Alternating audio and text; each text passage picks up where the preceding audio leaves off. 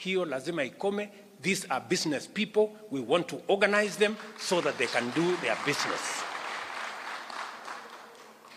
Statistics inatuonyesha ya kwamba bilioni mia tatu na hamsini kila mwaka iko katika sekta ya bodaboda. Almost 1 billion shillings every day is contributed by the bodaboda sector in our economy. Karibu ni kama pesa yote sisi tunatoa kama serikali kwa counties. That is what the border border sector contribute and that is big. Tunaelewana?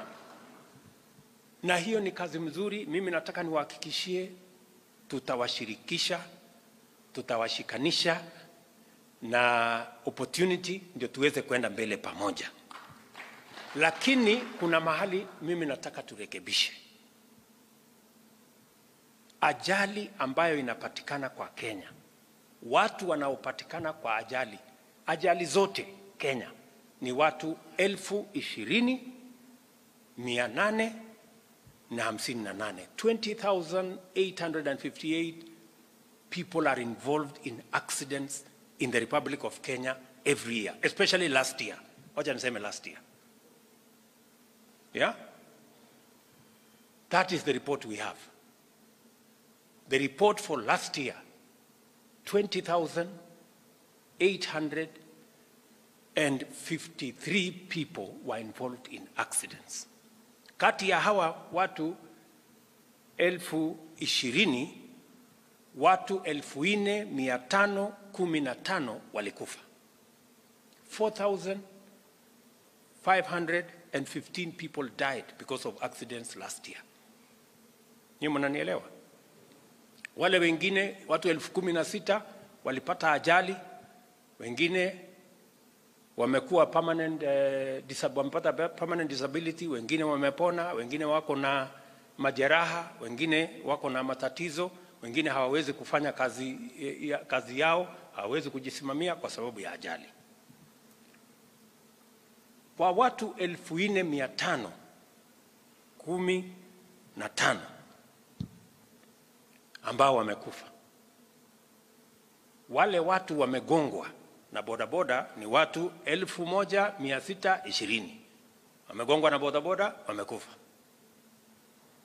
Watu elfu moja mia mbili na tisa madreva wa bodaboda wenyewe, wacha sasa wale passenger, wale watu wa, wa kutembea, watu elfu moja watu wa bodaboda bodaboda riders 1209 wamekufa. Wale watu wa kubebwa na bodaboda watu mia nne ishirini wamekufa. Wale watu wa kuendesha sasa magari yale mengine watu mia nne na nane wamekufa na passengers ya yale magari wengine watu mia nane wamekufa. Meaning watu wa bodaboda wale, wale watu wamegongwa wale watu riders wenyewe na wale wa kubebwa. Watu zaidi ya elfu mbili na mia tatu wamekufa kwa sababu aidha kuwa driver ya bodaboda ama kuwa passenger barabarani amegongwa na bodaboda ama mtu wa kubebwa na bodaboda. Hapo ndio mimi nataka na nyinyi tushirikiane ili tupunguze maafa ambayo yanatokana barabarani na maafa yanayotokana na biashara ya bodaboda. Tunakubaliana hapo? Mimi nataka niulize nyinyi, watu elfu mbili na mia tatu kukufa wakiwemo bodaboda riders, wakiwemo wananchi wa kutembea barabarani ambao walikuwa na shughuli zao, na wale ambao tumewabeba kama watu ya bodaboda, watu elfu mbili na mia tatu si hapo ni maneno ambayo lazima tufikirie na lazima tushughulikie.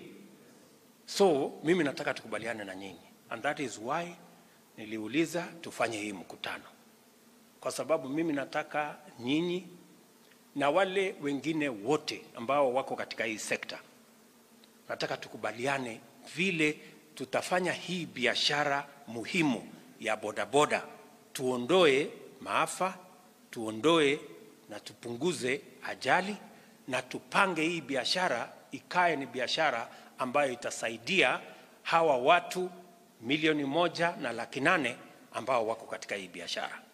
Tumekubaliana? So mimi nataka tukubaliane hivi.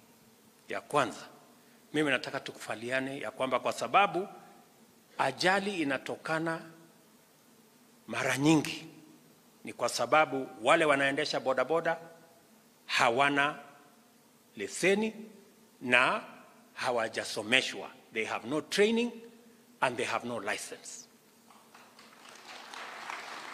Si ni kweli hapo? Tatizo kubwa ni kwamba watu wanaendesha pikipiki ya bodaboda hawajafanyiwa training na hawana leseni, ndio tunapata ajali nyingi. So mimi nataka tukubaliane na nyinyi. Tumeongea na watu wa NYS, nitaongea na wabunge, mimi nata, nitaongea na Council of Governors ya kwamba tuwe na training. Saa hizi tumeambiwa ya kwamba training ni shilingi elfu nane na leseni ni shilingi elfu tatu. Is that correct, watu wa NTSA? The license is how much? Shilingi elfu tatu na hamsini, elfu tatu na 50, 30 50, 30 50 ndio leseni. So mimi nataka tukubaliane na nyinyi kwa sababu tunataka tusaidiane kwa hii biashara.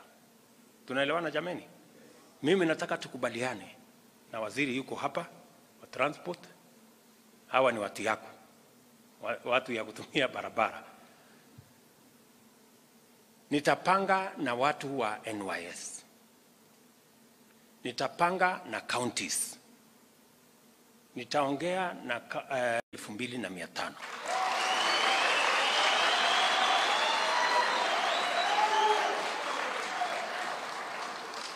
waziri, vile utaenda kujipanga sasa. Hiyo enda ujipange.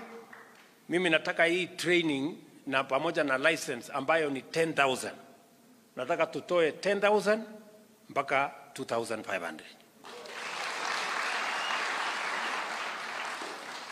tukubaliane what NYS is going to do what the ministry is going to do, what NTSA is going to do, so that tuweze kuhakikisha ya kwamba watu wanaoendesha pikipiki ya bodaboda, wanaofanya biashara ya bodaboda wako na training na wako na leseni. Sijui kama tumekubaliana hapo hapo, sawa? Hiyo ni jambo la kwanza, so that we can reduce on accidents on deaths, on injuries, we must train all our border border riders and we must license each and every one of them. And I am proposing that the ministry and the government of Kenya is going to work with all the other stakeholders, including our county governments, including our members of parliament, so that the training and licensing should not exceed 2,500 from 10,000. Sijui kama tume, sijui kama tumekubaliana. Jambo la pili, ili pia tuweke nidhamu kwa watu wa bodaboda. Hatutaki biashara ambayo inafanyika kiholela, na hatutaki biashara ambayo wakora na wahuni wanaweza kuingilia waharibu biashara ya watu wengi na imeharibiwa na watu wachache. Lazima kila mtu vile tulikubaliana, kila mtu awe kwenye sako. Na mimi nataka tuelewane, hakuna mtu atalazimishwa kuwa kwa sako yeyote. Hakuna mtu laz- ala- ala- alazimishwe ati lazima ukuwe kwa sako fulani, na hatutaki ati sako iwe ni mahali ya mtu kuambiwa ili uingie kwa hii sako lazima utoe pesa fulani. Hapana, no, hapana. Hapana, hapana, sitaki katel, Mimi nataka sako, na sako ni mahali mtu anaingia kwa kupenda. Sijui kama tumeelewana hapo. Yes, tunataka tuwe katika sako so that we are organized. Na mimi nataka wizara ihakikishe na NTSA ihakikishe ya kwamba hizo sako za bodaboda ni sako ambayo ina maslahi ya members, sio watu wachache waende washikane watengeneze sako na waanze kuchaji watu wengine ati ili uingie kwa hii sako toa elfu kumi toa elfu tano sijui toa elfu ngapi. Hapana, tumekubaliana tuweke nidhamu, tuweke mpango ya sawasawa. Mumesikia vile gavana wa Nairobi amesema kama sako itakuwa around uh, uh, stages na nini na nini, tuipangwe vizuri so that we know, tunajua fulani ako ni mtu ya eh, eh, sako fulani na huyo fulani pikipiki yake, ni- pikipiki yake ni namba fulani, ndio tuweze kupanga hiyo sekta ikae chonjo na ikae sawasawa sawa. Tumekubaliana, tuko pamoja. Jambo la tatu, nimeuliza watu wa St John. Na nitauliza watu wa Red Cross.